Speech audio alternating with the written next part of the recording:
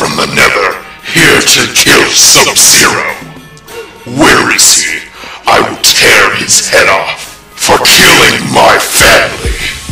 I will show no mercy. He dishonored our truce, so he must die for killing me and my family. Time, Sub-Zero, for you to suffer. I am not to be played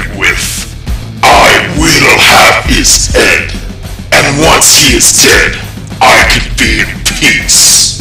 So get in my way, and I will make you suffer. And if you are, then you will pay. Wait a second. I see him over there. Sub-Zero!